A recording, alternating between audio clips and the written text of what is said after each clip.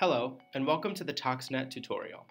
ToxNet is a resource from the National Library of Medicine that searches several databases on toxicology, hazardous chemicals, environmental health, and toxic releases.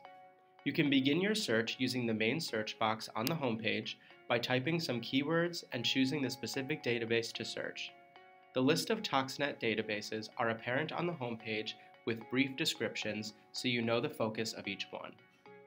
For purposes of this tutorial, we will search the LactMed database.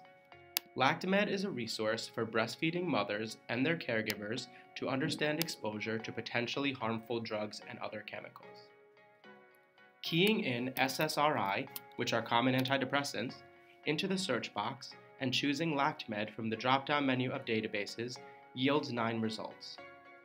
Choosing fluoxetine from the list of results brings you to a record with a summary of the drug use during lactation, drug levels that can be found in breastfeed, breast milk, and how the drug may affect the breastfeeding infant.